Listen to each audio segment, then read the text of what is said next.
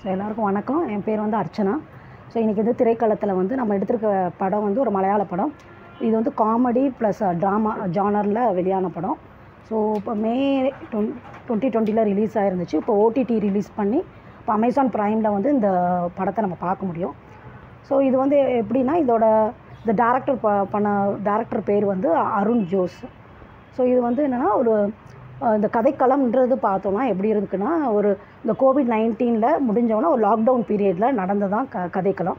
So நம்மளுக்கு வந்து இந்த படத்து மூலமாக ஒரு ஃபேமிலியை வந்து இன்ட்ரடியூஸ் பண்ணுறாங்க ஸோ இது வந்து ஒரு க கேரளாவில் இருக்கிற ஒரு கிராமத்தில் கிராமப்புறத்தில் இருக்கிற ஒரு தோட்டம் சுற்றி இருக்கிற ஒரு வீடு. ஸோ அந்த வீட்டில் ஒரு அஞ்சு பேர் இருக்காங்க. ஸோ அவங்கள சுற்றியே தான் கதை. ஸோ மெயினாக பார்த்தீங்கன்னா கேரக்டர்ஸ்னு பார்த்தீங்கன்னா ஸோ இந்த வீட்டில் இருக்கிற ஒரு அஞ்சு. அதில் இருக்கிற அதில் இருக்கிற ஒரு பையனுடைய ஃப்ரெண்ட்ஸு ஸோ இவங்களுக்குள்ளேயே தான் இந்த கதைக்களம் வந்து போயிட்டுருக்கு. இதில் வந்து எப்படின்னா ஃபஸ்ட்டு எடுத்தோன்னா அந்த குடும்ப தலைவர் பேர் அப்படின்னு பார்த்தோன்னா அவர் பேர் வந்து பேபி பல்தவரா. ஸோ பேரே வந்து நம்மளுக்கு வந்து கொஞ்சம் டிஃப்ரெண்ட்டாக இருந்துச்சு. அவர் வந்து வந்து ஹோமியோ டாக்டர். ஸோ இப்போ வந்து அந்த கோவிட் நைன்டீனில் அந்த லாக்டவுன் பீரியடில் நடக்கிறனால இப்போ அந்த வீட்டை விட்டு வெளியில் போகிற ஒரே ஆள் அவர் மட்டும்தான். ஸோ அவர் டாக்டர்னால அவருக்கு மட்டும் வெளியில் போயிட்டு வராரு. ஸோ அவரும் வந்து அப் அப்பப்போ சொல்லிக்கிறாரு. இந்த அரசிக்கு ஆல்பம் வாங்குறதுக்கு தான் எங்கிட்ட வராங்க. மற்றபடிக்கு வந்து எதுக்கும் வர்றதில்ல. ஸோ இதில் படம் ஃபுல்லாக பார்த்தா எல்லாமே வந்து ஒரு காமெடி தான். ஸோ டைமிங் காமெடியாகவே இருந்துச்சு. இன்னும் நம்ம மலையாளம் புரிஞ்சு இன்னும் பார்த்துருந்தோம். இன்னும் அந்த காமெடி நம்ம வந்து என்ஜாய் பண்ணலான்ற ஒரு ஃபீல் வந்து எனக்கு இருந்துச்சு. ஸோ ஓரளவுக்கு நான் என்ன சப்டைட்டில் பார்த்துட்டு திரு- திருப்பி நான் வந்து ஜஸ்ட்டு அந்த மலையாளத்துலேயே நம்ம கேட்டு பார்ப்போம்னு சொல்லி நான் ட்ரை பண்ணி பார்த்தேன். இதில் வந்து பார்த்துட்டிங்கன்னா அடுத்து அவர் அந்த அவருடைய ஒய்ஃப் ஸோ அவங்க பேர் வந்து லில்லி குட்டி ஸோ அவங்க பார்த்திங்கன்னா எப்போவுமே ஒரு டிப்பிக்கல் ஒரு ஹவுஸ் ஒய்ஃப் தான். எப்போ பார்த்தாலும் எய்தர் அவங்க சமையல் கட்டில் ஏதாவது ஒரு வேலை செஞ்சுட்ருப்பாங்க இல்லைன்னா தேங்காய் அரிச்சிட்ருப்பாங்க வாஷ் பண்ணிகிட்ருப்பாங்க ஏதாவது ஒரு வேலைகளை அவங்க பண்ணிக்கிட்டே தான் இருப்பாங்க. ஸோ இவங்க ரெண்டு பேத்துக்கு ரெண்டு குழந்தைகள். அவங்க அவங்க தான் வந்து ஜோமல் ஜோமன். ஸோ அவங்க பேரை வச்சு தான் இந்த படம் ஜோ அண்ட் ஜோ. ஸோ ரெண்டு அண்ணனும் தம்பியும். ஸோ ரெண்டு பேருக்கும் எட்டாம் பொருத்தம் தான். ஸோ செட்டே ஆகாது. ரெண்டு பேரும் அப்படி ஏறி கட்டிகிட்டு இருப்பாங்க ஸோ சண்டை எப்படி போடுவாங்கன்னா அவங்க போடலாம் அவங்க அந்த பொண்ணு வந்து அந்த பையனுடைய க கடிச்சு வச்சுருவாங்க. ஸோ அந்த அளவுக்கு வந்து அவங்களுக்குள்ளே வந்து அவ்வளோ சண்டை இருக்கும். சிபில்ஸ் ரிவலரி அப்படின்னு சொல்லிட்டு இருக்கும். ஸோ இதில் வந்து இந்த படத்தோட இன்னும் ஹைலைட் என்னென்னா இந்த ஒவ்வொரு சீனும் பார்க்கும்போது இதில் நடக்கிற ஒவ்வொரு இன்சிடென்ட்ஸு ஸோ ஒவ்வொரு ரெஃபரன்ஸும் பார்க்கும்போது நம்மளோட ரிலேட் பண்ணிக்கலாம். ஸோ நம்ம வீட்டில் நடக்கிற மாதிரி விஷயம் ஸோ இந்த இவங்க எடுத்து இது வந்து ஒரு ஜஸ்ட் ஒரு மிடில் கிளாஸ் ஃபேமிலி தான். ஸோ நம்ம எல்லாரும் ஈஸியாக வந்து இந்த ஃபேமிலியோட நம்ம கனெக்ட் ஆகிக்கும் ஸோ அதில் நடக்கிற ஒவ்வொரு இன்சிடெண்ட்டும் வந்து நம்ம வீட்டில் நடந்திருக்கும். இல்லைன்னா நம்ம கசின் வீட்டில் நடந்திருக்கும். இல்லை நம்ம சொந்தக்காரங்க எங்கிட்டாவது நம்ம வந்து ரிலேட் பண்ணிக்கலாம். ஸோ இவங்களை பார்க்கும்போது எனக்கு வந்து யார் தெரிஞ்சாங்கன்னா எங்கள் சித்தி வீட்டில் வந்து நாங்கள் வந்து மூணு பொண்ணுங்க. ஸோ என்னால் கனெக்ட் பண்ணிக்க முடியல. அது எங்கள் சித்தி வீட்டில் வந்து எனக்கு அண்ணா ஒரு தங்கச்சி. ஸோ அவங்க ரெண்டு இப்படி தான் ரொம்ப சண்டை போட்டுக்கிட்டே இருப்பாங்க. அண்ணா வந்து ஒரு புது பைக் வாங்கியிருந்தாங்க. எங்கள் மூணு பேர்த்தையும் கூட்டிகிட்டு போவாங்க பைக்கில் வாங்கன்னு. ஆனால் அவளை மட்டும் கூட்டிகிட்டு போக மாட்டாங்க. அப்படி இரிட்டேட் பண்ணுவாங்க. அப்படி சண்டைனா அப்படி ஒரு சண்டை நடக்கும். அவ அதே மாதிரி தான் இங்கேயும் எல்லாமே. ஸோ இந்த லில்லிக்குட்டி வந்து என்னென்னா பையன்றனால அவங்களுக்கு ரொம்ப அட்வான்ஸ் அட்வான்டேஜ் கொடுக்குறது. ஸோ அங்கேயும் வந்து டெஞ்சர் ஜெண்டர் டிஸ்கிரிமினேஷன் இருந்துச்சு. ஸோ இவளுக்கு வந்து ரொம்ப இதாக இருக்கும். அம்மா வந்து தம்பி மேலே தான் ரொம்ப பாசமாக இருக்காங்க. ஸோ அவனுக்கு வந்து நிறையா வந்து சலுகைகள் கொடுக்குறாங்க. ஸோ இவன் எப்போ பார்த்தாலும் இரிட்டேட் பண்ணிகிட்டே இருப்பான் நீ என்ன சாப்பிட்டு தட்டை நீ எடுத்துகிட்டு போக பண்ணுறப்பார் அப்பாவே எடுத்துகிட்டு போகிறார் உனக்கு என்ன? நீ எடுத்துகிட்டு போ அப்படின்னு சொல்லுவாங்க. நீ மோ ரூமை நீ தான் க்ளீன் பண்ணணும். ஸோ ஆனால் வந்து லில்லிக்குட்டி வந்து என்ன பண்ணுவாங்கன்னா இந்த ஜோமல் அவளுக்கு தான் நிறையா வேலைகள் கொடுத்துக்கிட்டே தான் இருப்பான். ஸோ அவங்களோட நோக்கம் என்னென்னா இவளை வந்து நல்லா ப்ரிப்பேர் பண்ணணும். ஃபேமிலிக்கு அடுத்த வீட்டுக்கு போகிறா ஸோ அதுக்கு ஒரு ஹவுஸ் ஒய்ஃபுக்கான ப்ரிப்பரேஷன் பண்ணணுன்ற மோட்டிவ்லே தான் இருக்கும். ஆனால் நிறைய இடத்துல வந்து என்ன பண்ணுவாள் ஜோமல் வந்து எதிர்த்து கேட்பா.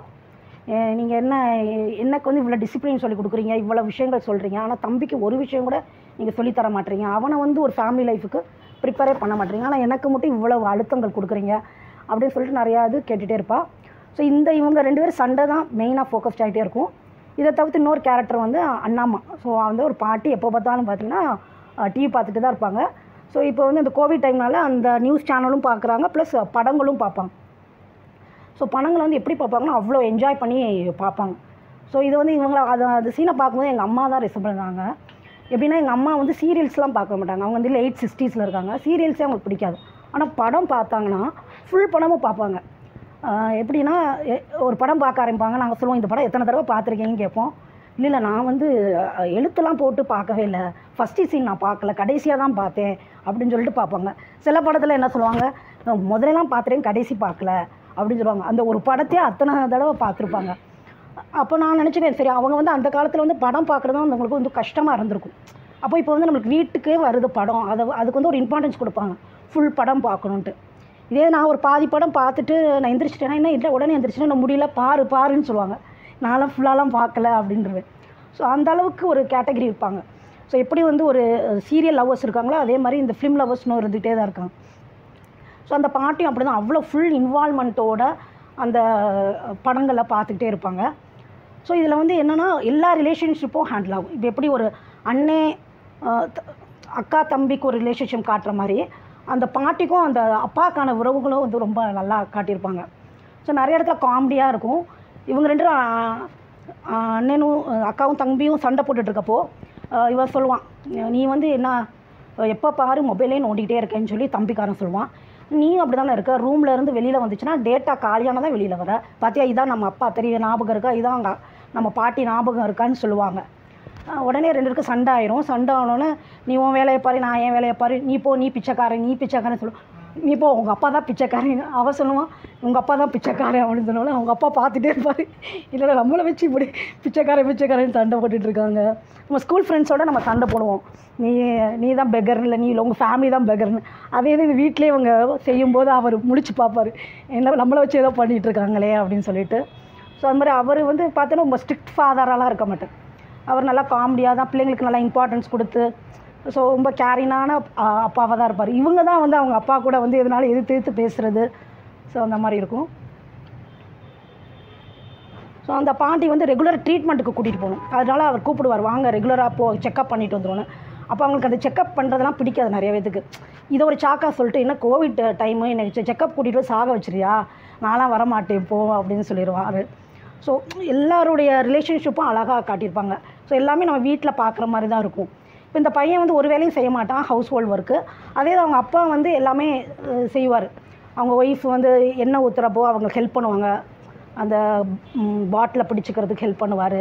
அப்புறம் மக துணி காய போடும்போது அவரே வாங்கி பண்ணுவார். ஸோ அந்த மாதிரி அவர் வந்து கொஞ்சம் அவர் வந்து ந- நல்ல இதாக இருப்பார்.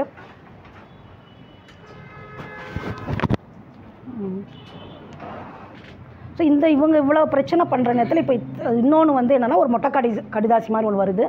அதுவும் வந்து டியர் ஜோன் போட்டு வருது. அது ஒரு லவ் லெட்டர் வேறு ஆயிடுது ஸோ ரெண்டு பேருமே பார்த்துருவாங்க அண்ணன் அக்காவும் பார்த்துருவாங்க தம்பியும் பார்த்துருவாங்க ஸோ ரெண்டு பேருக்குமே சந்தேகம் அவங்க மேலே. ஸோ ரெண்டு பேருமே வந்து அதை பெருசாக்கி அதை வச்சு ஏதாவது நம்ம இது பகையை காட்டிக்கிற மாதிரி அவங்க ரொம்ப பிஹேவ் பண்ணுவாங்க அந்த லெட்டரை வச்சுக்கிட்டு. அவனுக்கு வந்து எப்படின்னா அவன் வந்து இவங்களுக்கு இன்னும் என்ன கடுப்புனா இவங்களால் வெளியில் அந்த கோவிலனால வெளியில் போக முடியல. ஆனால் அவன் வந்து ஃப்ரெண்ட்ஸ் சர்க்கிளோட நல்லா என்ஜாய் பண்ணுவான். வெளியில் போய் மீன் பிடிக்கிறது அந்த மாதிரி அவன் அவன் கேங் ஃபார்ம் பண்ணி அவன் நல்லா ஜாலியாக தான் இருப்பான். இவங்க பொண்ணாக இருக்கிறனால வெளியில் எங்கேயும் போக முடியல. ஒரு நாளைக்கு ரொம்ப கஷ்டப்பட்டு நான் நானும் உன் கூட வரேன்னு சொன்னோன்னே சரி சரின்னு தலையாட்டிடுவான் அப்புறம் இவன் ட்ரெஸ்லாம் பண்ணிட்டு வரும்போது அவன் விட்டுட்டு போயிடுவான் ஸோ இந்த மாதிரி அவளுக்கு வந்து எப்பவும் சரி என்ன அவன் மட்டும் நல்லா என்ஜாய் பண்ணுறான் நம்மளால் எங்கேயுமே போக முடியல. அவன் நல்லா கேர்லெஸ்ஸாக இருக்கான். ஆனால் இவன் வந்து என்னென்னா ஆன்லைன் கிளாஸஸ் அட்டன் பண்ணிட்டு இருந்தாலுமே அவன் வந்து அதை டியூஷன் எடுப்பான் ஸோ அவளுக்கு என்ன டவுட் இருக்குன்னா இந்த டியூஷனில் படிக்க பிள்ளைங்க தான் பொம்பளை பிள்ளைங்க தான் வந்து அவனை யாரோ லெட்டர் கொடுத்துருப்பாங்களோ அப்படின்னு சொல்லிட்டு அவனுக்கு ஒரு டவுட் வரும். ஸோ இது இது இந்த டியூஷன் நடக்கும்போது எனக்கு நான் ஹிந்தி கிளாஸ்க்கு நான் போவேன் டியூஷன் அப்போது அப்போது எனக்கு அது கொஞ்சம் அந்த மெமரிஸும் எனக்கு வந்துச்சு. ஸோ இந்த படம் பார்க்கும்போது ஒவ்வொன்றையும் நம்ம கனெக்ட் ஆகும். நம்மளோட சைல்டுஹுட் மெமரிஸ் நம்மளுக்கு கண்டிப்பாக வரும். அது வந்து டியூஷன் டீச்சர் இருப்பாங்க. அவங்க பார்த்தீங்கன்னா அவங்களுக்கு ஒரு பையன் இருக்கும். ஸோ நாங்கள் எல்லாம் பொண்ணுங்க சேர்ந்து அது என்னென்னு தெரியாது அந்த பையன் அவங்க பொ- பையனையே வந்து நாங்கள் கமெண்ட் பண்ணுறது ஸோ இந்த மாதிரி தான் போயிட்டுருக்கோம். ஸோ அந்த மாதிரி தான் ஸோ இவங்க இவர் உள்ளே வந்தாலேவே அந்த பிள்ளைங்க கமெண்ட் பாஸ் பண்ணுறது சிரிக்கிறது. எதுக்கு சிரிக்கிறதுனே தெரியாது. ஆனால் அதுங்க சிரிக்குங்க. இவன் அவங்களுக்கு முன்னாடி அவன் அவனை இன்சல்ட் பண்ணிகிட்டே இருப்பான் நீ உள்ளே வர்றேன்னா நீ வந்து சானிடைசர் போட்டு தான் வரணும் அப்படின்னு சொல்லிட்டு இது பண்ணிகிட்டே இருப்பான் இப்போ இந்த லெட்டர் வந்துருச்சு. இந்த லெட்டரில் வந்துட்டு இப்போ இவன் என்ன பண்ணுவான்? இவனுக்கு தெரிஞ்ச சர்க்கிள் அவன் ஃப்ரெண்ட்ஸ் தான். இப்போ பாரு அக்காவுக்கு ஒரு லெட்டர் வந்திருக்கு. நான் வந்து இதை வச்சு நான் வந்து யார் எழுதியிருக்கான்றதை நம்ம கண்டுபிடிக்கணும் அப்படின்னு சொன்னால் அவங்க எல்லாம் சின்ன பசங்க தான். அவங்களுக்கு தெரிஞ்சதை அவங்க அவங்க அப்படியே ஷேர் பண்ணுறாங்க ஸோ இவளுக்கு வந்து அம்மா அப்பாட்டெல்லாம் உடனே சொல்ல மாட்டான் ஸோ இவ சொல்ல போகிறது வந்து அவங்க அந்த பாட்டிக்கிட்ட தான் சொல்லுவான். அந்த பாட்டியும் சரி லவ் பண்ணால் என்ன? உனக்கு என்ன? வாட்டர் கொட்டும். அதனால என்ன? அப்படின்னா அவளுக்கு ஷாக் ஆயிரும். என்னென்னா நம்ம வந்து மாட்டி விட்ற டைப்பில் சொன்னால் இவங்க வந்து இதனால் என்ன? அப்படின்னு சொல்கிறாங்கன்னா அவங்க பாட்டியே பயம்படுத்துவான் அப்படி கிடையாது. நீங்கள் வந்து உங்கள் தாத்தா பதினாறு வயசில் உங்களை கூட்டிகிட்டு வந்துட்டாங்க. அப்போல்லாம் இது பிரச்சனை கிடையாது. இதே மாதிரி தம்பி கூட்டிகிட்டு வந்தானா அப்புறம் போலீஸ்லாம் வந்துடும் வீட்டுக்கு பார்த்துக்கோங்க அப்படின்னு சொல்லி அவள் பயன்படுத்துவாள் உடனே அப்படின்னா வேண்டாம் வேண்டாம். அப்படின்னா நான் வந்து அவங்க வந்து ஏதாவது சொல்லியிருப்பாங்கன்னு நினைக்கிறேன். சித்தப்பா வீட்டுக்கு போயிடுறேன்ன்ற மாதிரி சொல்லியிருப்பாங்கன்னு நினைக்கிறேன். ஸோ இவளால் வேறு ஒன்றுமே பண்ண முடியல. அம்மா அப்பாட்டையும் சொல்ல முடியல. பட் இவளே வந்து அந்த டியூஷன் பசங்களை தான் டவுட் பண்ணி அவங்கள்ட்ட ஹேண்ட் ரைட்டிங்லாம் வாங்குறதுக்கு பிளான்லாம் பண்ணுவாள் அந்த பிளானுக்கு வந்து அந்த அவங்க பாட்டியும் ஹெல்ப் ஹெல்ப் வச்சுக்குவா. ஸோ அவங்க பாட்டியோட நல்ல ரிலேஷன்ஷிப் வச்சுக்குவாங்க. ஸோ நைட் ஆனால் அவங்க கூட தான் படுக்கிறது. ஸோ அந்த மாதிரி ஒரு இது. ஸோ எனக்குமே எனக்கு அது இது இருந்துச்சு நான் வந்து ஃபோர்த்து ஃபிஃப்த்து படிக்கிறதுல எங்கள் பாட்டி விட ஒரு மூணு ச- சந்து தள்ளி. ஸோ நைட் வந்து என்னென்னா போய் நான் படுக்க அங்கே போகணும். அங்கே படு அவங்க கூட படுத்துட்டு ஏன்னா மாமாக்கெலாம் குட்டி பசங்க ரொம்ப குட்டி பசங்க. அதனால் அவங்க அவங்க கூட துணைக்கு படுக்க முடியாதுன்னு என்ன தான் எங்கள் வீட்டிலேருந்து அனுப்புவாங்க. ஸோ நான் போய் அவங்ககிட்ட படுத்து இப்போ காலையில் எழுப்பி விட்டுட்டு டீ மட்டும் கொடுப்பாங்க. டீ குடிச்சிட்டு நான் வருவேன். இப்போ நான் மதுரைக்கு போகும்போது அந்த சைட்லாம் போய் பார்க்கும்போது அவ்வளோ தூரத்துக்கு நான் போயிட்டு வந்திருக்கேன். ஒரு ஃபோர்த் ஸ்டாண்டர்ட் படிக்கிறதுலே நம்மளை வந்து அவ்வளோ டிஸ்டன்ஸுக்கு அனுப்பியிருக்காங்கன்றது எனக்கு வந்து ரொம்ப இதாக இருந்துச்சு. இப்போ எல்லாம் இப்போ இருக்கிற பிள்ளைங்களாம் போகவே போகாது அவ்வளோ தூரத்துக்கு. ஸோ அந்த மாதிரி ஒரு மெமரிஸ் எல்லாமே வந்து ஒரு எங்களோட ஆட்சி எங்கள் எல்லாருடைய மெமரிஸும் இருக்குது ஸோ அம்மா வந்து ஒர்க்கீனாக இருப்பாங்க எனக்கு. அப்போ வந்து நான் என்ன பண்ணுவேன்னா எதுனாலும் ஸ்கூலில் நடக்கிறது எல்லாமே வந்து எங்கள் அப்பாவோட அம்மாட்ட தான் நான் வந்து ஷேர் பண்ணுவேன். ஸோ அவங்ககிட்ட இருந்து ஐடியாஸ் கேட்குறது ஸோ அந்த ஒரு மெமரிஸ் வந்து எனக்கு கண்டிப்பாக இந்த படம் பார்க்கறதுல எனக்கு அப்படியே கனெக்ட் ஆச்சு. அப்போ இந்த லெட்டரை வச்சு இவங்க இந்த மாதிரி பண்ணிகிட்டு இருக்கும்போது அவன் ஃப்ரெண்டு சொல்லுவான் உங்கள் அக்காவோட மொபைலை நான் வந்து ஹேக் பண்ணிடலாம் அப்படின்னு சொல்லுவான்.